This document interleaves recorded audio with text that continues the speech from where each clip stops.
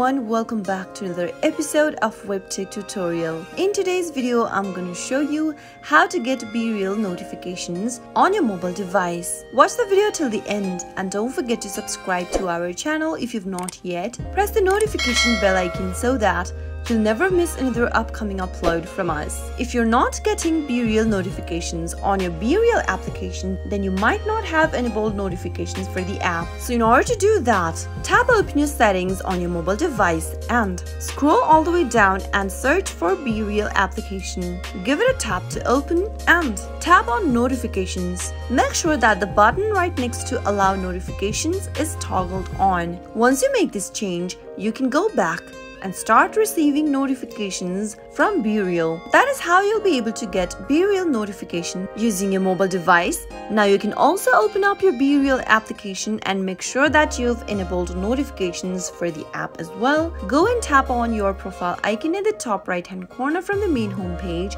and tap on the three dots at the top right. Now tap on the notifications option and make sure that you've enabled all of the buttons that you would like to receive notifications from and that is how you'll be able to get notifications on BeReal application whenever there is any kind of a mention, comment, friend request on your BeReal app. That is how it can be done. I hope you found the video to be helpful. If it was, go ahead and give us a thumbs up. I'll be back soon with more videos like this. Thank you for watching.